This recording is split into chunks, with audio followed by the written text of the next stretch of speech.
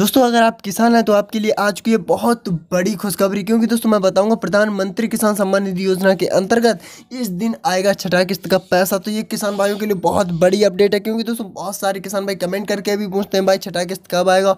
और बहुत सारे किसान भाइयों को इंतज़ार है उनकी छठी किस्त का पैसा आने का।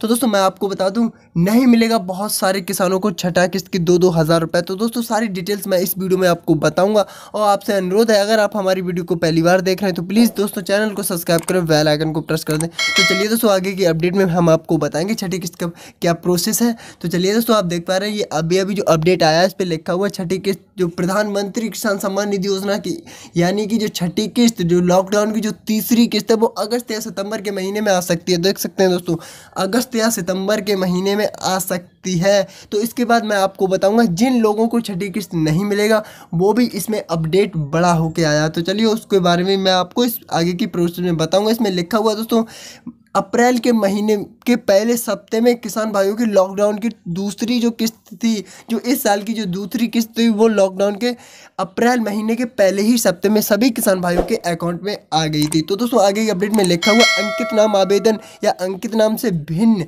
जिन किसान भाइयों के आवेदन या किसी स्टेटस में कोई भी फॉल्ट है या कोई भी प्रॉब्लम है या किसी भी की मिस्टेक आ रही है तो वो अभी अपना सल्यूशन करवा लें और सही करवा लें।